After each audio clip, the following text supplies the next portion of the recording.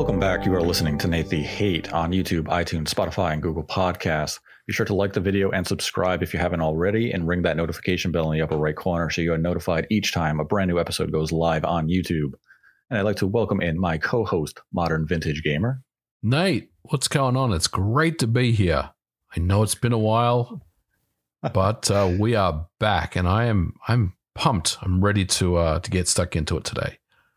It has been a while, but we are back with an exciting new episode as Sony has a state of play coming up in just a day from the time this episode drops.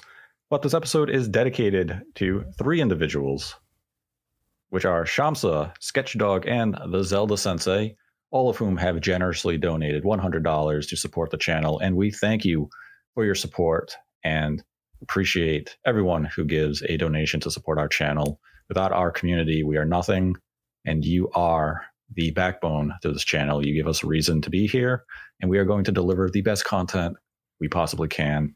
And with this episode, that is our goal as we talk Sony and Sony State of Play of what they may have for us starting June. They are the opening show of the June Video Game Showcase or Summer Game Fest, which has now claimed the Sony State of Play even though Summer Game Fest isn't for another two weeks.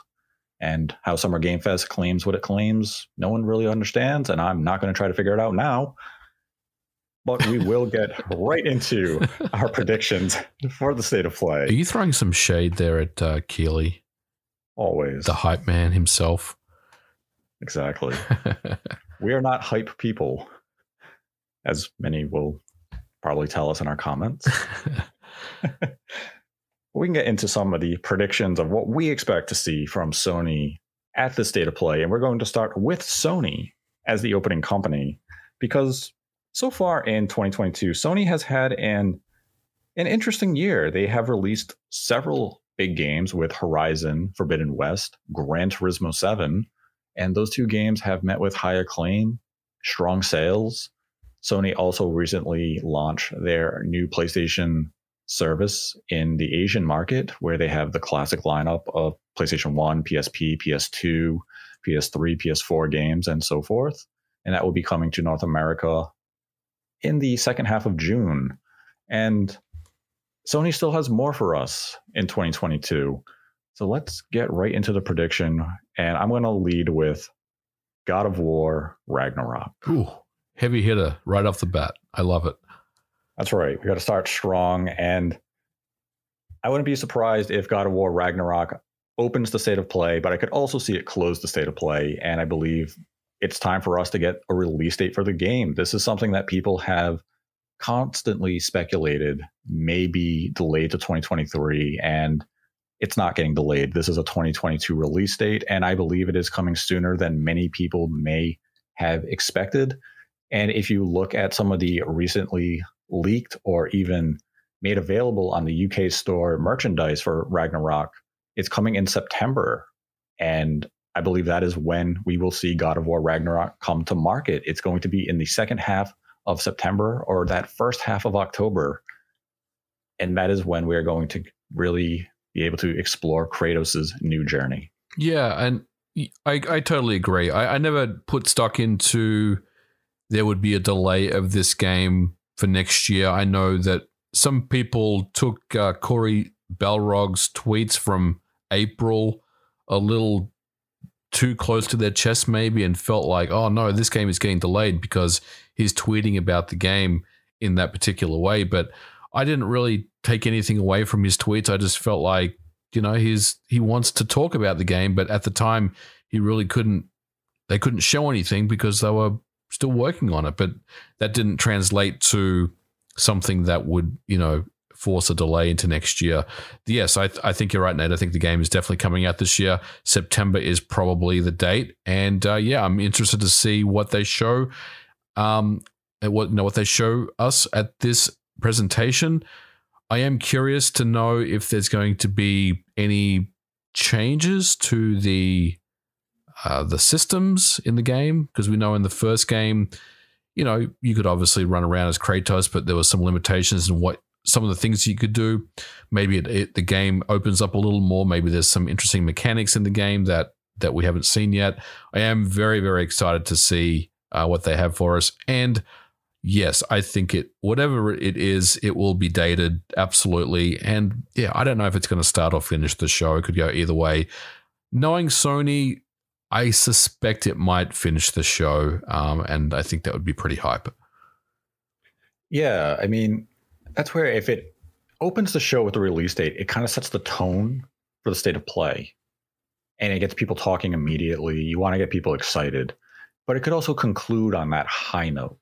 Right, and it depends, right? Like if you want to, I don't want to st- say start start small, but you know, you start on a on a hill, right, and you kind of plateau all the way mm-hmm. up to the to the top of the mountain as as Ragnarok type of thing, or do you come out, you know, firing your shot early and maybe have that dip in the middle of the presentation? It just depends on how they want to pace this thing, but.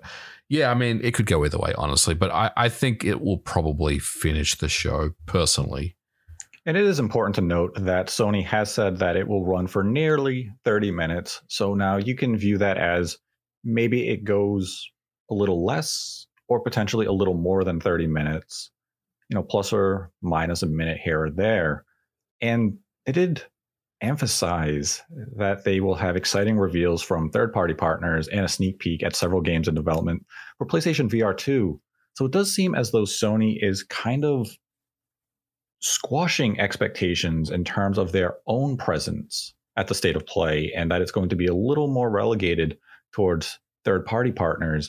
But this is the opportune time to communicate with everyone what is happening with God of War Ragnarok. And if we don't see it at the state of play, it would be very surprising to me because we know Sony doesn't typically host a lot of shows, especially state of plays, over the course of the summer. Now, they could do a God of War Ragnarok devoted state of play. Yeah, absolutely. Maybe comes later this month and they announce it during this showcase.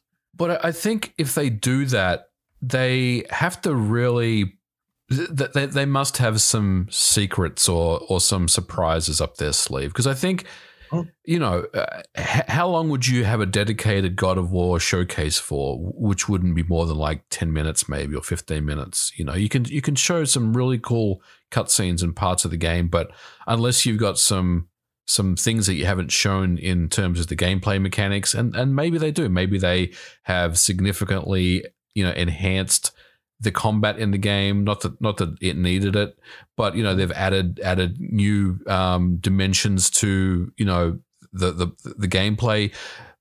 And I'm just, dude, I'm just speculating, but maybe there's a way that you can switch between um, Kratos and Atreus in the game, kind of like what you can do in in other styles of games, where you can, you know, toggle between them.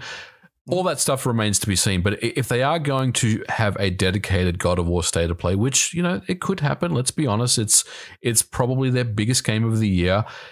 Then it needs there needs to be something pretty meaty for us to to, to show, you know, to, to, to see. I mm. think that if they just you know showed us you know five minutes of, of cutscenes and some gameplay, it may not have the the same impact as as what you know what we would expect. I guess. Right. And I mean, with Sony not really emphasizing a first party presence here, the only other game I could feasibly see Sony bring to the state of play is the long rumored The Last of Us remake, which has been expected to come out this year. But with the TV show now delayed till 2023, I do wonder if Sony may take the opportunity to hold on to the game a little longer and try to hold it and release it closer to the HBO series.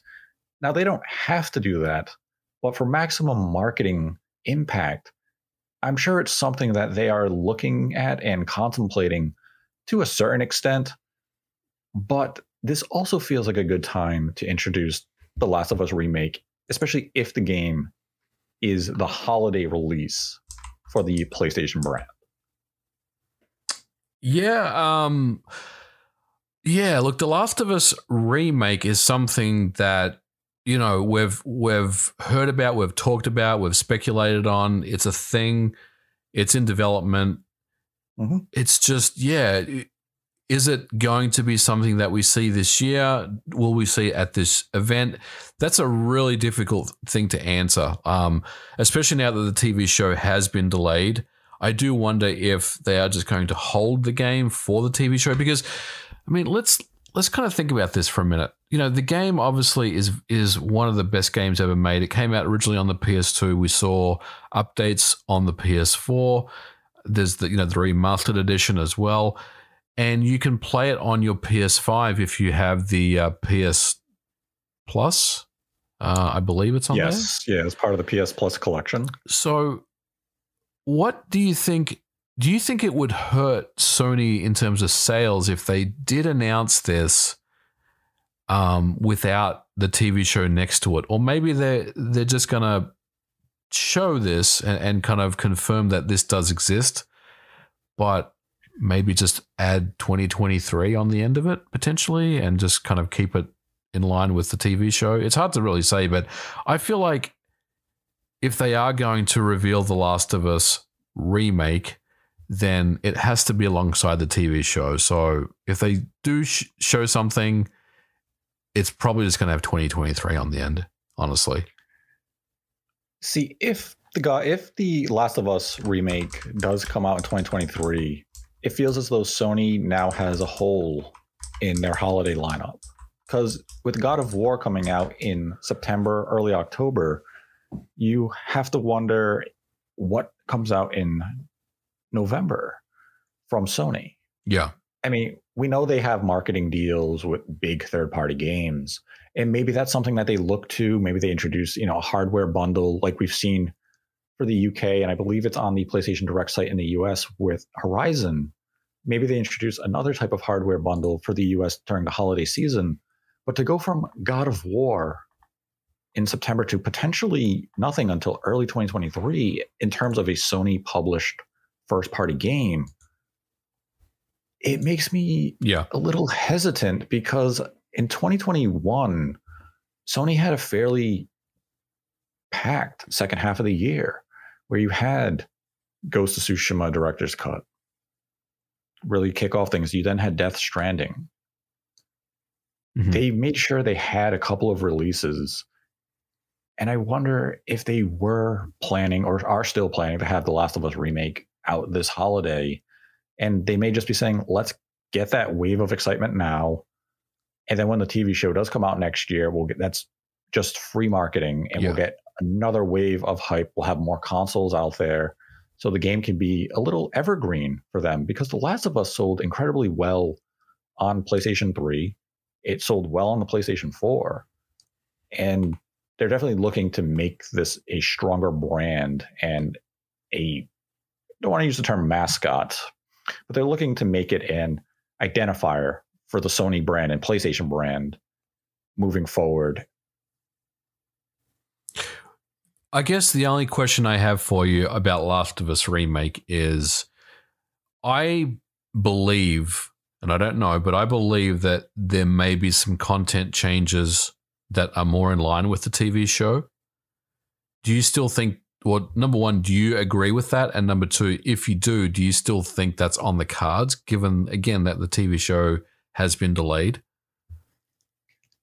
When the rumors and the reports first came out of a Last of Us remake, my first thought was that they would modify the story to fit the TV show in some areas because we know the TV show is going to stray from the original game's path, be it with, you know, character exposition or maybe even certain events, the way they unfold.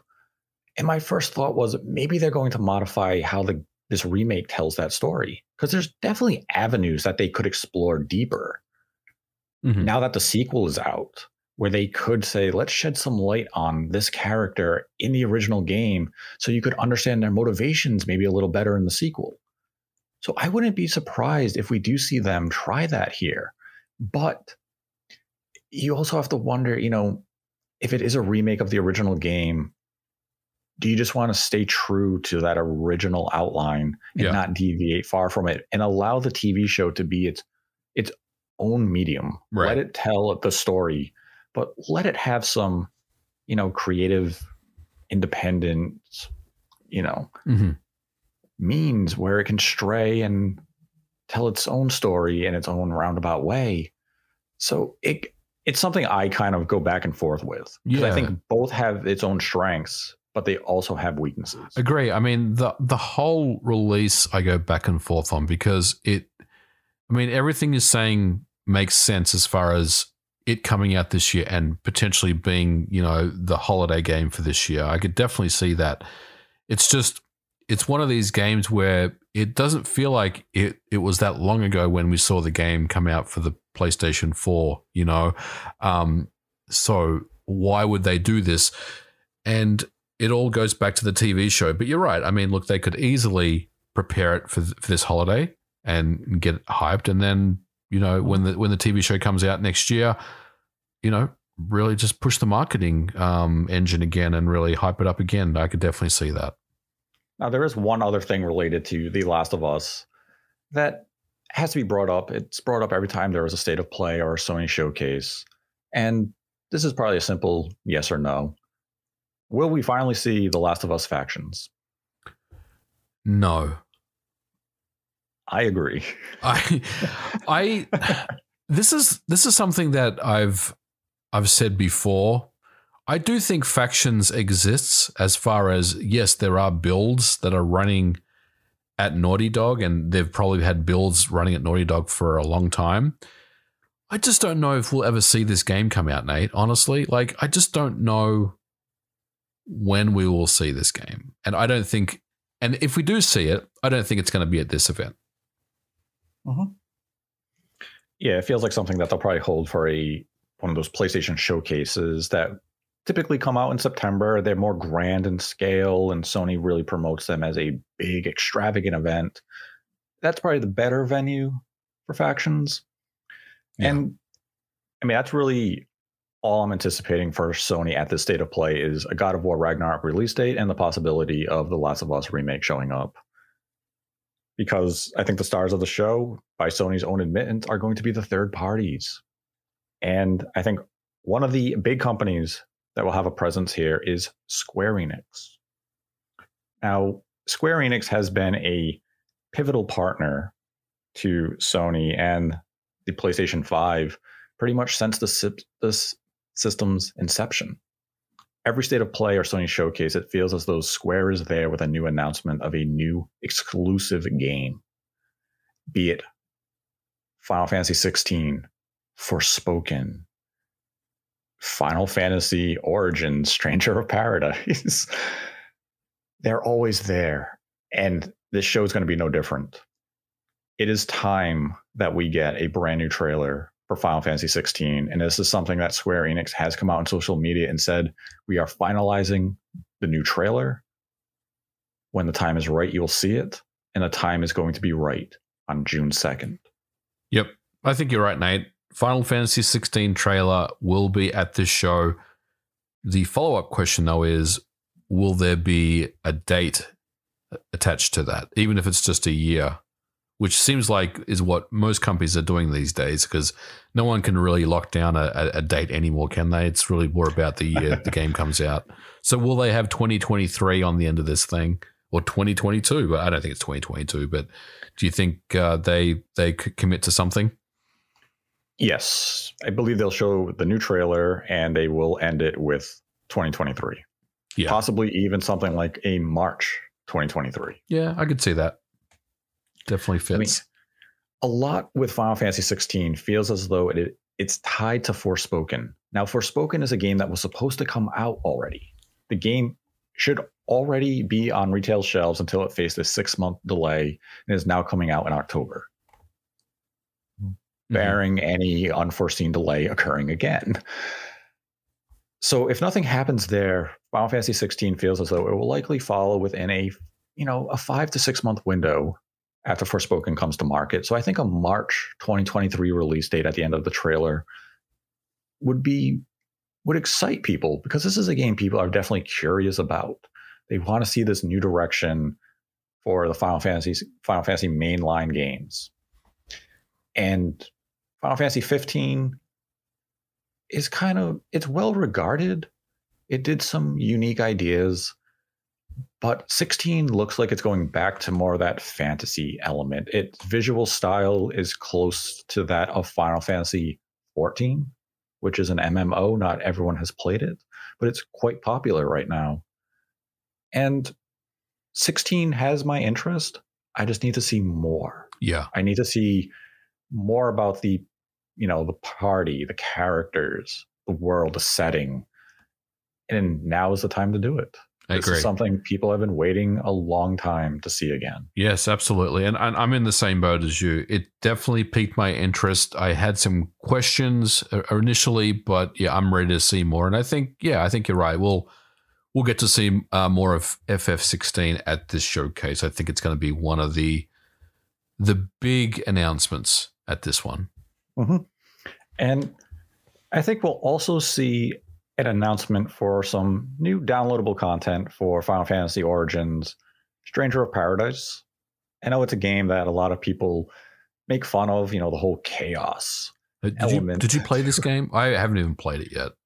I played the demos when they came out, and the gameplay loop is really good. Yeah, I've I've I've heard it's actually pretty good. I think the biggest concerns I've heard is maybe the graphics, uh, kind of PS2 era style. The graphics, the performance, and the dialogue aren't great. Some of the dungeon designs are definitely a area of critique from individuals, but a lot do enjoy the combat and such. So with DLC that maybe is a little more focused and maybe tries to stay a little more true to what made Final Fantasy Final Fantasy, but with this, you know, new take, it could find some interest. So, you know, we'll see if there is DLC, see the direction they take with it. I think it's a good avenue for Square to stick with it. It seems as though it does have a community that is enjoying what the game has to offer. So, get some new downloadable content out there. Might even interest people to return to the game or look into the game and possibly buy a copy. I'm waiting for uh, a discount and I'll pick it up. I definitely want to check it out because I, I have heard good things. And honestly, the PS2 era graphics don't really bother me too much. If the gameplay loop is fun, then that's good enough for me. So I'll probably check it out.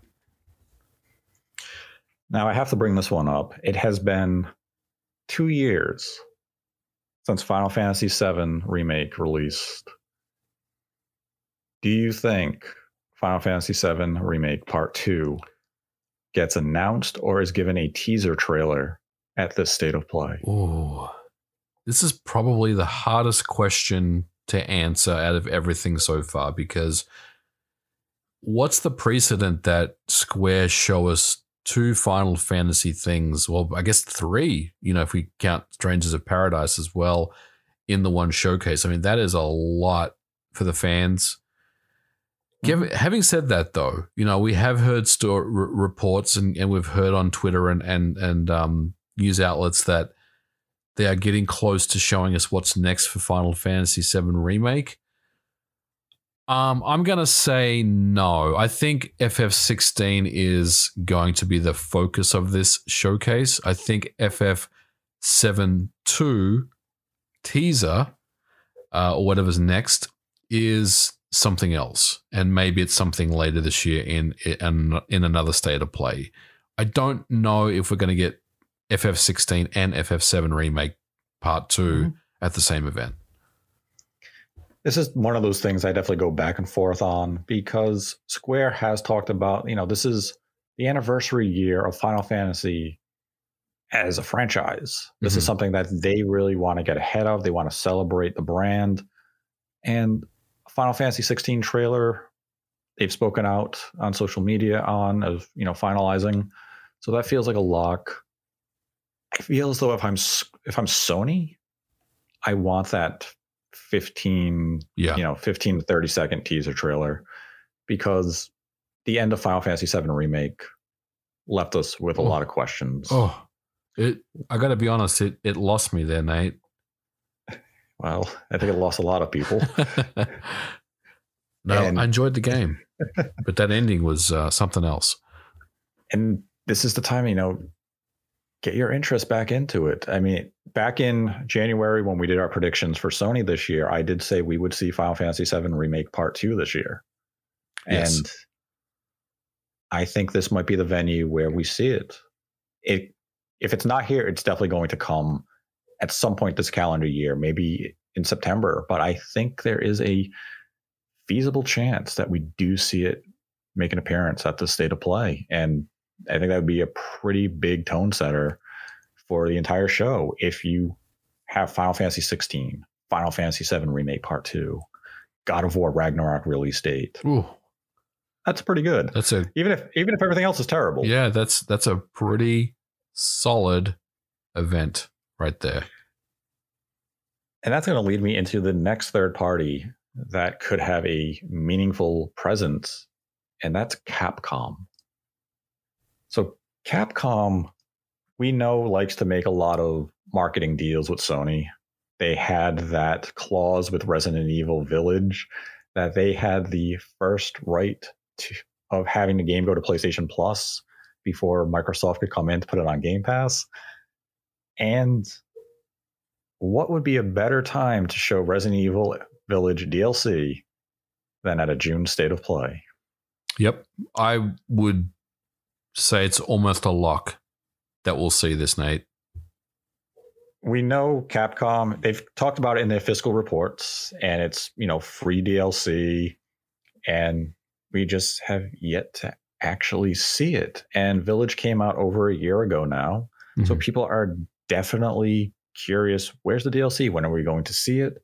The state of play feels as though it is the right time to show it. And it's also a good time for Capcom to announce, you know, Resident Evil Village Gold Edition, which we have seen them do time and time again with this franchise. They released the complete edition with the base game. And if you already have the game, you can just get the DLC for, you know, 20 $25. And I think this is the proper venue for it. But it's also, I think it's the proper venue for something bigger. And I think we're finally going to see the long, long rumored Resident Evil 4 remake. Yeah. Um again, this is this is I kind of lump this in the Final Fantasy thing where you know, are you going to really show two Resident Evil things at the same show? It's uh it would be something that would be extremely hyped if that's the case. And look, they could do that, you know. There's there's there's nothing in the in the textbook that says you can't, you know, show your hand as far as what you're working on with Resident Evil games. I think one of one of those two things is going to happen. I just don't know which one. It's probably going to be the Village DLC. And look, the Resident Evil 4 remake, I think exists, and I think we'll see it later this year. But you're right. I mean, it could could be at this showcase. And if if that is the case, Nate, then this is one of the best Sony events in a long, long time. So you'd say we might be building a show too good. Maybe, uh, maybe we mean, are. I mean, on paper, right now, we have Final Fantasy 16, Final Fantasy 7 Remake Part 2, Yep. Resident Evil 4 Remake, God of War. God of War Ragnarok release day, The Last of Us Remake. It's a pretty, pretty damn blockbuster show. lineup. Yeah, that that is that is blockbuster levels of of excitement. but I mean, let's be honest. You know, Sony needs a a big showcase. You know, like, and I think they've been working very hard to to put something like this together for a long time. Like they've been pretty quiet, like you said. They started the year strong, but we haven't really heard much since then about what's going on. Obviously, you know, we've heard about the PlayStation Plus Premium that rolled out in Asia, but it's been it's it's been mostly heads down from from you know Team Sony right now. So yeah, they they could be ready to come out all guns blazing on on this event with with all this stuff. So I you definitely can't rule it out, but I think that there's going to be one uh, one of those Resident Evil announcements at this show, and I think the other one is is going to be pushed to later this year potentially. I mean, keep in mind, Capcom has come out with their fiscal report and they said they are expecting a huge year in terms of software sales. And we don't know of any game coming out from Capcom this fiscal year outside of the Monster Hunter expansion for the Switch. True. And you know, there is the expectation of Street Fighter 6. I don't expect that at the state of play. I think that'd be something that we officially see at Summer Game Fest. And it's something that Capcom has already said would be shown again more formally during the summer. So I think that's for a different event, not the state of play. And keep in mind, Resident Evil 2 remake, Resident Evil 3 remake were all at Sony shows. So there's so a there's, precedent here, right? There is. And, hmm. you know, as big as the DLC for Resident Evil Village is, it's known. It's a known quantity. We're expecting it. It's not going to surprise anybody. Maybe the scale or the direction the DLC goes in will surprise people. But I think the big surprise would be having Resident Evil 4 Remake be present and get announced at the state of play. Yeah. And also, I'd like to mention the last state of play Capcom did have a big presence in that as well. We saw the fantastic game Exoprimal mm-hmm. make its debut, which everyone freaked out initially because they thought it was Dino Crisis, and then it wasn't Dino Crisis. Yeah, I had, to, I had to think for a sec what you were talking about. I remember now. so, I mean, Capcom is known to bring big games to Sony presentations, and I think Resident Evil 4 remake fits that bill. Well, if there is that precedent, this is this is what I'm going to say. I think I'm going to flip it around. I'm going to say Resident Evil 4 is at this showcase. The Village DLC is later on. Okay. That's what I think. Now I'm going to flip it again on you. As Sony mentioned themselves, PSVR 2 is going to be a focal point to the state of play. I feel as though we will see the DLC for Village and we'll also get the announcement that Resident Evil Village is coming to PlayStation VR 2. We played Resident Evil 7 in VR. We know it yes, works. It's awesome, and by the way. It is awesome. It's scary, it's tense. And the fact that they already have that groundwork set it's just a natural evolution that Resident Evil 8 is going to come to PSVR 2. Yeah, there's definitely going to be some VR 2 announcements, right? And I think you're right. Resident Evil 8 Village, PSVR 2, that does fit the bill for me. Now, here's the question is is it going to be something that you have to pay for? Do you think it comes as a free update? How do you think um, that would work? I, I kind of suspect it might be a free update, but you know, they could easily charge you, you know, 20 bucks for it or something if you already have the game. Yeah, I would imagine it'd be a free update because the PSVR support in Resident Evil 7 was just built into the base game. Right.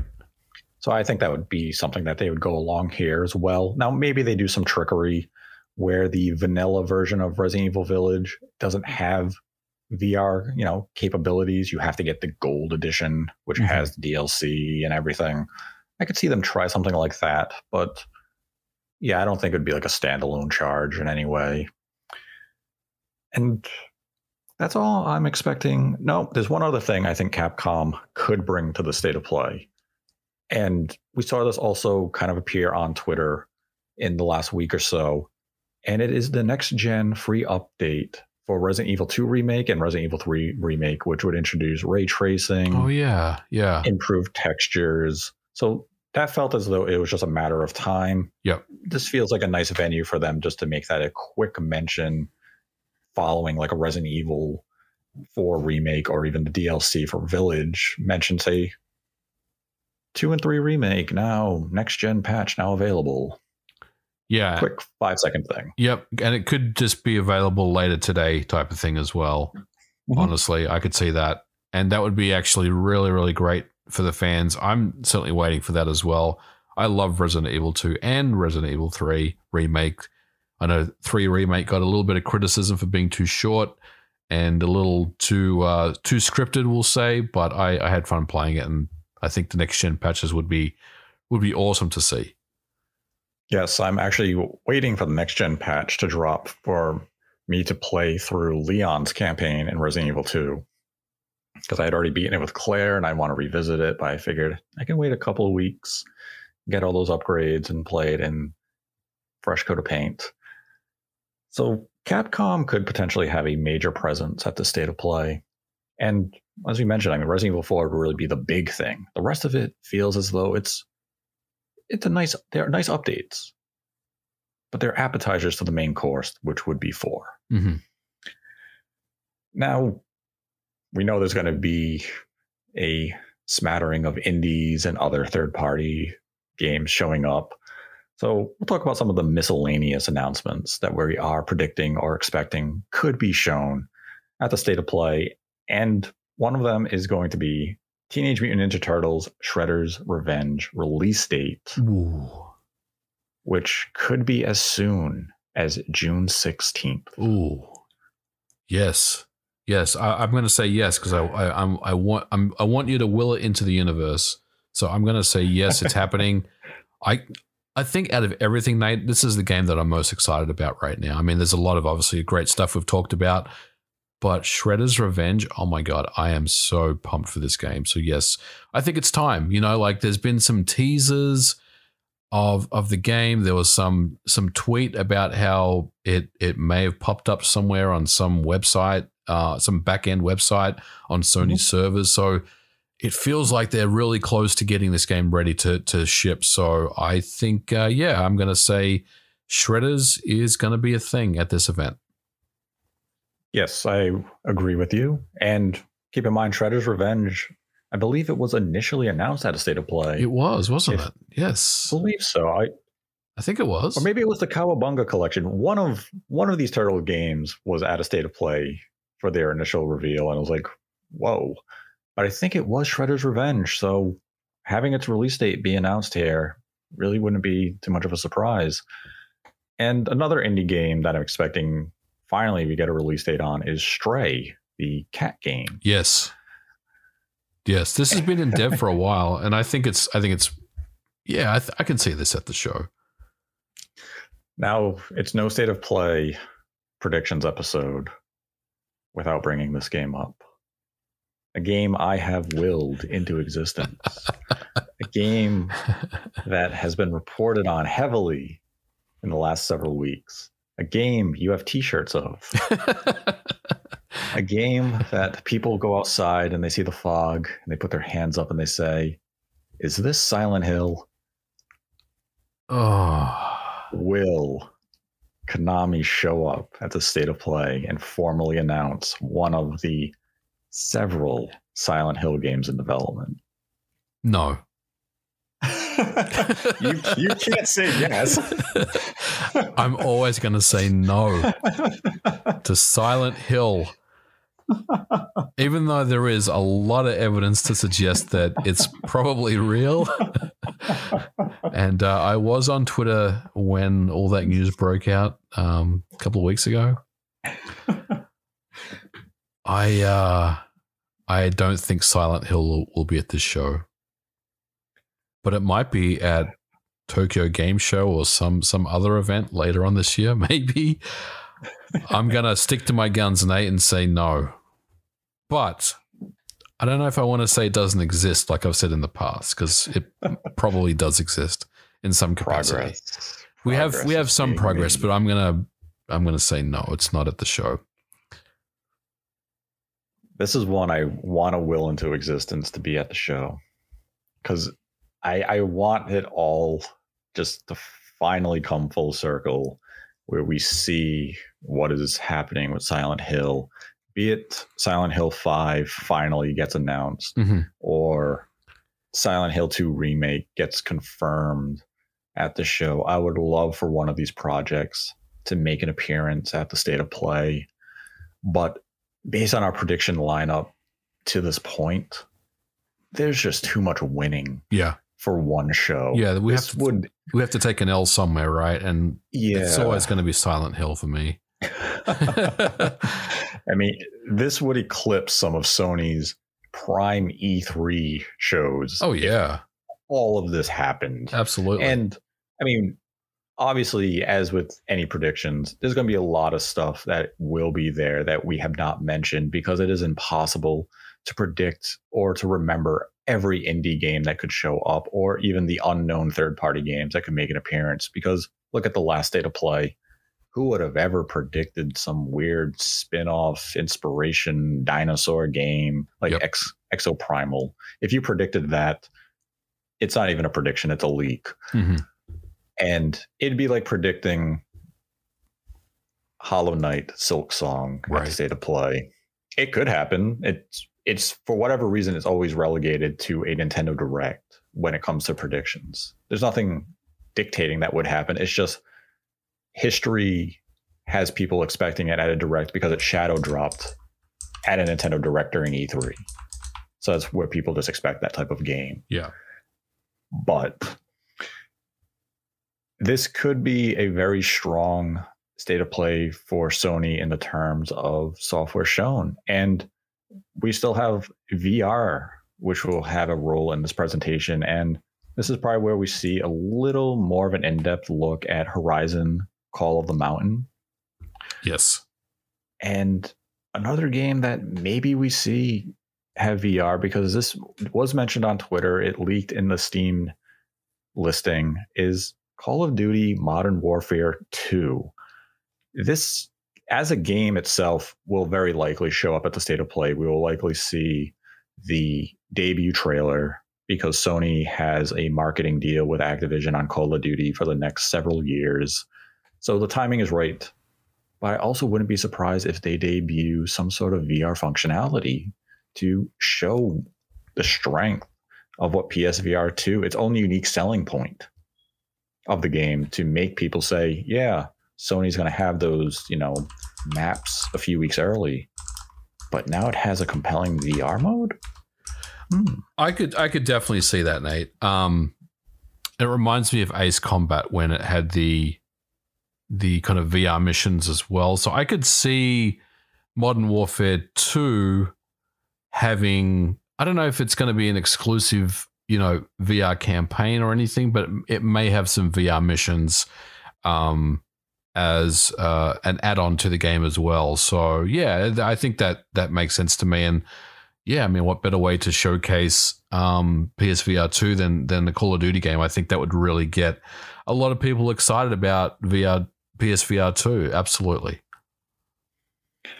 Now, like, there's a lot of VR games that they could potentially have at this that are already on the current marketplace. Titles like Beat Saber, I'm sure, will come to PSVR 2. But I'm not sure if this is the proper venue to announce that type of project. I think you want to emphasize large scale VR games that are going to come to PlayStation VR 2. So that's going to bring me to Half Life Alyx. Yeah, Would- I mean, Is this the venue you would announce this at to really generate hype for VR2? Because no, as, in Sony's words, this doesn't sound like it's a VR2 sh- like right? Showcase. This is just let us show you some of the projects that are, are in development Yes. for the platform. I agree, and yeah, when PSVR one came out, um, correct me if I'm wrong, refresh my memory, but there was a specific event for PSVR one. So I, I was that right? I'm pretty sure there was when when they announced. yeah, I'm pretty that. sure there was. So I would expect a similar type of thing when they're ready to show us. And honestly, I think um, that's when we'll see that the heavy hitter VR games. You know, if there is Half Life Alyx in development, which I kind of feel like th- there is. Um, yeah, I think uh, I think that's the the venue to, that we'll see the game. I don't think we're going to see it at this event. Yeah, it's you definitely want to have that heavy hitter when it's time to give us the release date, the price for PSVR 2. And this does not seem to be the event that Sony is going to give us all those details. If it was, we probably wouldn't be having other third parties take away any of that message. You'd want to have that committed event, as you mentioned, and it would be purely focused on VR2. So you could give us all those details, a launch lineup, some of the games in development further down the line that would be coming to the platform. So this feels as though we're going to get updates on things like the Horizon VR game, a couple of new announcements to get people excited about what is to come, and just give us an idea of what PSVR 2 can do in terms of functionality, visual fidelity, you know, and so forth. But overall, if the state of play as we predicted comes to fruition, it could be a very strong showing for Sony, the PlayStation 5, and PSVR 2. I think in this scenario, if half of it happens, it's still a very, very good show. And that's kind of what I'm banking on here. I think a lot of this stuff is probably going to happen, but not all of it will. Um, but yeah, I, I think either way, Sony knows that they have to put on a good show, and I think it will be a good one for sure. Yeah, I mean, there's a lot of third party partner games that could make a showing, be it, you know, stuff like Hogwarts Legacy, even though it had its own state of play last year, I believe it was. It could still make a showing here because the game's release date is coming up fairly soon. And I mean, really, if we look at what we have, you know, put a bullet point here, and let's say God of War Ragnarok is given a release date, Final Fantasy 16 is given a trailer, Final Fantasy 7 Remake 2 gets its teaser, uh, Resident Evil 4 Remake shows up, Shredder's Revenge gets its release date, Call of Duty Modern Warfare 2 is there, Stray and a handful of indies have a presence, and then there's, let's say, three to six VR games Yep. I don't think that's a bad 30 minute presentation. No, it's very strong. Very strong. And I know state of plays have a stigma to them that they're always disappointments. But I think Sony is learning. I'm hoping for a well paced yeah. event. And they've been pretty quiet, you know, in recent times. So, like I said, I, I think they are preparing a, a good show for us to see. And um, yeah, I, I feel pretty good that we'll get one. Yeah, definitely something I'm looking forward to this week. This is the first event for the summer in terms of game presentations. We have Microsoft coming out in just a couple of weeks. Nintendo has yet to announce anything for June, but it's very likely that Nintendo will have something this month. We have Jeff Keighley Summer Game Fest, which will have numerous developers and publishers participating in just a couple of weeks as well. But let's hope Sony starts June off on the right note and gives us something to talk about for a couple of days. Absolutely. now we can go into some of the Streamlabs questions that have been accumulating for the past several weeks. And our first one comes from Jackie G, who donated $1 and writes Least favorite home console from Nintendo, Microsoft, and Sony? Well, for Nintendo, I would say the Wii. Really? Yes. Wow. For Sony, oh, I would probably say the PS3. And for Microsoft, that's easy. The Xbox One. Yeah, I mean Microsoft is easy with the Xbox One. Sony, yeah, I think I have to agree with you with the PS3. Nintendo, I think I'm. It pains me to say because people are going to take it as me hating on the system, and I don't hate it. You're going to say the GameCube, aren't you? No, I was going to say the Wii U. I like the Wii U more than I like the Wii. The Wii gave me Wii Sports, Mario Galaxy 2, Mario Galaxy, Excite Trucks. Oh, there's some great games on the Wii. Don't get me wrong. So that's why I go with the Wii U. It gave me some good games, but I think just the overall failure to utilize the concept of the system well makes it my least favorite. But it was, it was tough. Yeah, that's a, a, tough hard one. question. I was going to say the Virtual Boy and cheat, but I was thinking of that too, actually. but I guess it's not technically a home console. right. Well, we could have said the GameCube, uh, the Q. Yeah, yeah, the Panasonic Q. Yep. Yeah. we then had a $2 donation from Gunstar Hero. And they write Since we're getting Return to Monkey Island, do you think we could get a Monkey Island collection on the Switch? We got Grim Fandango on the Switch, but what about getting the other LucasArts adventure games, Day of the Tentacle, Fate of Atlantis, etc.? I think it's absolutely possible we could get a collection like that on the Switch. Then had a $5 donation from TT Pete. And they write, I got a Steam Deck. It's neat, but also big, loud, hot, and has low battery life. Realistically, how much could Nintendo improve the hardware strength of a Switch 2 while also maintaining its priorities to make something practical with good battery life? Well, I mean, I Um, think that's exactly what they're working on right now, you know, and Mhm. um, I would say they're running multiple iterations and tests on what they can do to get that sweet spot between more performance, we'll say, something that's more in line with 2022 standards, but not giving up on the battery life that that we we expect on the Switch hardware. Mm-hmm. And I mean, one of the important driving factors that the Switch would have as an advantage over the Steam Deck here is NVIDIA's DLSS technology to really push visuals beyond the raw capabilities that the hardware has. So they could prioritize, you know, battery life in some situations, and you'd have visual performance that would eclipse native performance due to the wonder that is DLSS. So Nintendo and Nvidia, you know, will work closely and aim for a specific target that they want from the hardware. Then had a dollar donation from Zeebs. Right, great to see Metroid Dread in your top three. Concerning the sales of the PlayStation 2, you have to consider that it was also a cheap DVD player. Then the PlayStation 3 was a very expensive at the start. So, what are your top three gaming consoles of all time? Hmm. Asking the hard questions. I mean, I'd put the PlayStation 2 up in my top three of all time. It PlayStation has to be 2 there. was, Yeah. I mean, it defined gaming. It made it cool.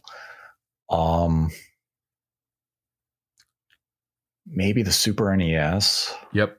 I was going to say the same thing. Maybe there's some nostalgia attached to it as far as how I feel, but the Super NES is is definitely up there for me. What, would, what would round out my top three? Hmm. It's a it's a hard it's a hard one to answer. Um, I mean, I love the Dreamcast, but the Dreamcast doesn't have the the depth of library that I would I would say is like my favorite console ever. But it's a great system, and there's also obviously the N64, which I'm which I really like, but I also acknowledge that it doesn't really have the depth of the game library that I come to expect. As far as Mhm. Sony is concerned, the PS2 is far and away my favorite system. And I don't know, you know, like maybe the Switch could be number three. Um, but I also wonder, I mean, I really like the Xbox 360 as well. I Mhm. like the OG Xbox. Um, I hmm, maybe I would I would add Xbox 360 as my number three because you you just had that uh, Yeah. amazing era of games. You know, you had Mhm. Gears of War, Fable, Forza, Halo. Yeah. Uh, but you also had some great third party stuff as well. You had the the GTA four and and five. You had uh, you know Oblivion and and um and uh, Skyrim and Red Dead Redemption. You know that was a for me that was a, a really great era in gaming. So I, I'd probably say the 360 as my third. Three, yeah, 360 is a good way to round out the top three. I mean, I would definitely flirt with the idea of adding in the Wii, but I think the Wii and the 360 would Yep. really combat each other as to who deserves the placement. I mean, it's tough, and it definitely comes down to age when you grew up, the Mhm. games. But yeah, I think that would be the top three. Hmm. Then had a donation from Matanume for two dollars and thirty four cents, and they write, "Been a major fan of dedicated portable gaming since I can remember the Game Boy Color days. The PSP and all its PlayStation games really took it to the next level with action based titles that played smoothly and felt very big console like Vita as well." And they followed up with another two dollar and thirty four cent donation and continue with on Switch, there are only, there are some action genre games, yet the system feels left out, or if games do come out, feel inferior. Look at MLB The Show on PSP or Vita and compare with the Show 22 on Switch. Why is it so difficult to make that smooth PSP style action game? Hmm. The key thing I would point out there is that when you look at PSP or Vita games, those games were typically ground up Vita and PSP Yes. projects, whereas the Switch is getting downports. Yep. They're taking the build of the bigger brother and just downscaling everything to make it run on the Switch, while games in the PSP and Vita were specifically tailored for that hardware, unless you were looking at games like Sly Cooper or God of War Collection. But those games were tailored for that hardware, and you don't really see that with Switch in those types of examples. So I think that may be the big reason you're seeing such a discrepancy. Then had a $1 donation from John. And he writes Why do you think the Michael Jackson estate, Sega, is so reluctant to greenlight Sonic 3 re releases? I thought allegations, but those were apparently debunked. And regardless, they didn't pop up until 2019, and he died 2009, which is when this started. I don't think it has to do with allegations. I think it's really all- more about creative control and, and money and, and usually things that that have to do with with things like that when it comes to rights and license holders and stuff like that. So I don't really know the answer, um, but I I would expect that um, it's something along those lines. Mm-hmm. We then had a dollar donation from Liam Werner, who writes How on earth does the DS battery last so long? So you these so you these memes online about people finding their DS after 10 years of not playing or even charging it, and it still has like half its battery life. And these memes have a lot of truth to them. Because the DS and the Game Boy Advance batteries are not of this world. Uh, also, I mean, I think it was, um, you know, Nintendo really after the Game Boy Advance, um, the DS obviously was using ARM chips, and ARM chips are generally speaking low powered, and they tend to not draw too much. But I think they really refined that process on the DS, and and really just again, Nintendo's been great at finding that sweet spot between really good battery life and and performance, and I think the DS is definitely a good example of that. Mm-hmm. Then had a dollar donation from Marin, and they write, Hi, love the show. You make a great team. Nate, I saw your post about Reggie secretly hating the Donkey Konga series. I love the series, one of my favorite on GameCube. What are both your thoughts on a potential new Donkey Konga? Where, when, and how? Uh, where, Never, never, when, never, Never. and how? never. Mirac- miracles would need to happen. I would love for a new Donkey Konga, even if it was on the Switch and you had the Joy Cons and you just used the gyro going up and down, and you had the HD Rumble to give some feedback as though you're hitting the drum. But we all agree Reggie was wrong. That's right, Reggie. you and Jeff Keighley, you can come on. We'll take you. Our podcast is ready. then had a $5 donation from Steve. Steve writes Hi, Nate and MVG.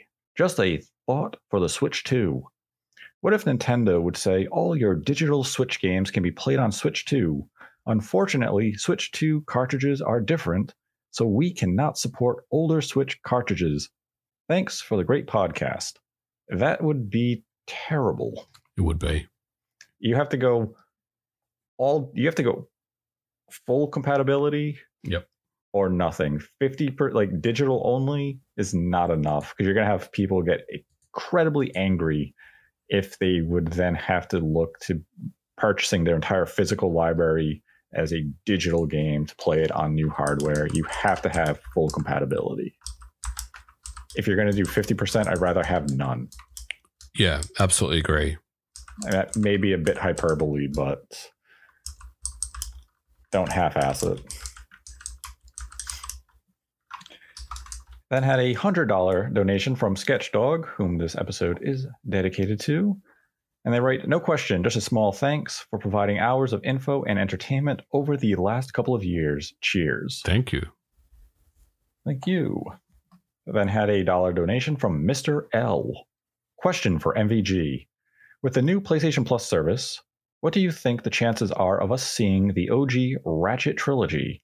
Will they put the effort into emulation, or God forbid, will they force us to stream the buggy PS3 versions over the cloud? I think you answer your question. It's probably going to be streaming over the cloud. Yeah, that seems to be the route that they're going with right now. I don't know if I don't know if was Ratchet and Clank ever part of the PS4, PS2 remasters like they did with the Jak. I know Jak games. and Daxter was, but I don't think Ratchet was. But I could mm. be wrong. If if if they are, then maybe. But like, yeah, I I would say they're going to get streamed. Then had a ten dollar donation from Adam.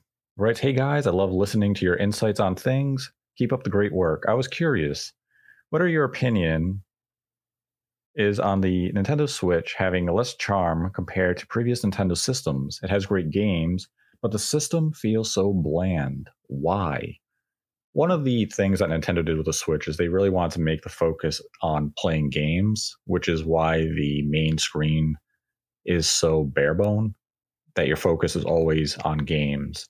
Now, that doesn't forgive them for not having music on the eShop and just little jingles that seems to be more of a case that they didn't want to allocate the resources for the RAM into those types of things. They want to keep everything speedy. And I think, you know, a lot of people would probably agree with that. They like the speed that the system does work. Yep. But I think, you know, having a little music and just a little charm would have worked in their benefit, but it's probably not something that a lot of people miss. I do miss it, but I'm probably one of very few then had a $100 donation from the Zelda Sensei, whom this episode is also dedicated to. And they write We all know about chip shortages hitting electronics hard. But with a rising tension in the economic markets from all the different ongoing factors, what kind of changes do you think we could see in the gaming industry that we haven't already? Hmm. It's a good question. I mean, we've already seen hardware delays, software delays.